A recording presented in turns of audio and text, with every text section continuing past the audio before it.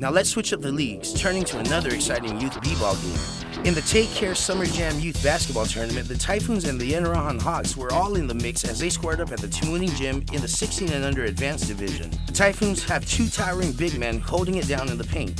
One of them is center Mark Jackson, who stands at 6 feet 4 inches tall. Good lord, that guy's tall. Are you sure he's 16? But that didn't even phase the Hawks, who were constantly attacking the basket, causing the Typhoons to reevaluate their game plan. They made the necessary changes in time and held off the feisty Inarajan Hawks with a 37 26 win, improving to 5 1, while the Hawks fall to 2 5. In other games, San Miguel Club dropped the Celtics 40 31 in overtime, and the Umatac 76ers picked up a forfeit win over the Suns. Just a reminder, the GYBA Championships go down this Saturday at the Sports Complex in Harmon. For PNC Sports, I'm Jason Camacho.